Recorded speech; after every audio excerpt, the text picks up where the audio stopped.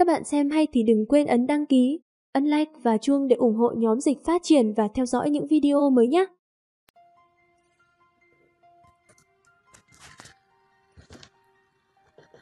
Làm gì vậy? Nửa đêm khuya khoắt ai đang gào thét Có để cho người khác ngủ nữa hay không? Ây, Tiểu Bì, bây giờ nên làm thế nào đây? Nhanh chóng bắt lấy Đỗ Nhung, đừng để cho hắn đi nói lung tung. Một khi truyền ra ngoài, lời đồn vô căn cứ của mọi người rất là đáng sợ. Aurina, cô đem đồ ở trong hầm thu dọn một chút. Ta đi tìm đại đương ra, cô đi tìm sư huynh sư tỷ. Tam đệ, đệ trông chừng nghi quán cho tốt vào. Trước khi ta và đại đương ra qua đây, không được phép cho bất kỳ người nào vào trong. Nếu không, ta lấy người ra hỏi tội. Vâng, đại ca. Đại phù, đỗ não.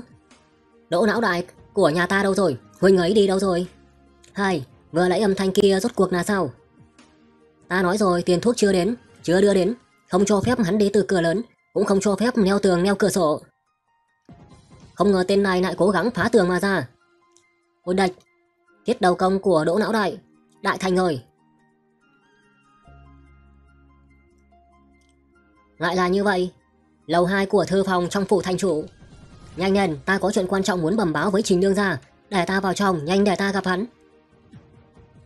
Khách hiếm đỗ não ca, ghé thăm hàn xá có chuyện gì không? Chuyện tiếp theo đây ta nói, ngươi tuyệt đối là đừng sợ hãi. Ta là đại đương gia, ta không sợ, mời ngươi nói. Có phải ngươi đã bị người, người cá, bắt cóc rồi đúng hay không, hả? Người cá gì vậy? Vừa thôi, nói đi, ngươi nhanh chóng nói chuyện gì đi. Chính là như vậy, chính là như vậy. Ây, lại là một kẻ nghiện rượu. Không ngờ lại bị tiểu tử nhà ngươi biết rồi, hả? Là có ý gì, trình đương gia ngươi sớm đã biết rồi sao? Chuyện này nói ra rất là phức tạp. Nói chung, ngươi đừng có nói lung tung ở bên ngoài. Để người khác nghe thấy thì rất là phiền phức. Chắc thằng này uống rượu ngâm nội tạng người để tiểu bi nghiên cứu rồi nha. Bánh bao, lẽ nào nói? Báo đại đương gia, Lưu Bi tiên sinh cầu kiến. Nói Lưu Bi thì Lưu Bi đến. Vừa hay hai người các ngươi có thể mặt đối mặt nói cho rõ ràng.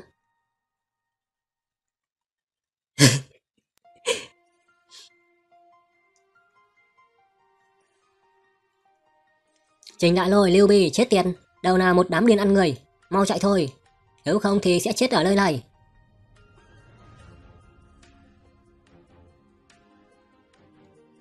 Nào ăn kẹo. Sao mình cảm giác giống như là có đem theo cảnh khuyển vậy?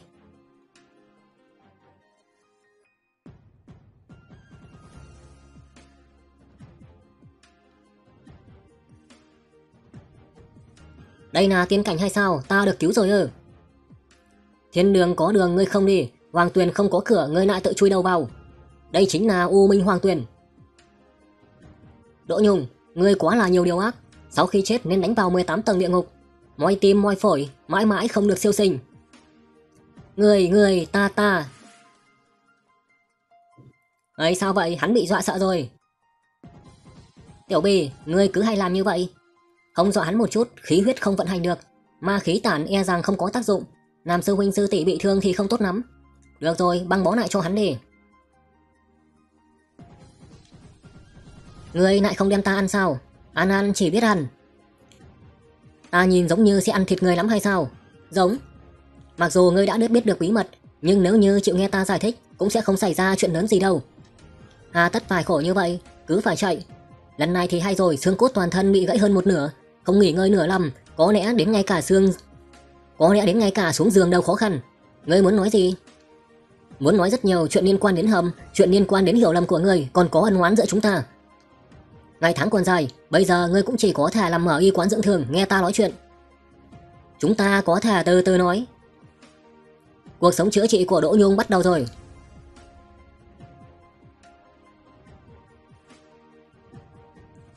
Thiên tứ kiểu Nguyệt Mát Ngưu Nhật Sung Dương Hung thần tại Bắc.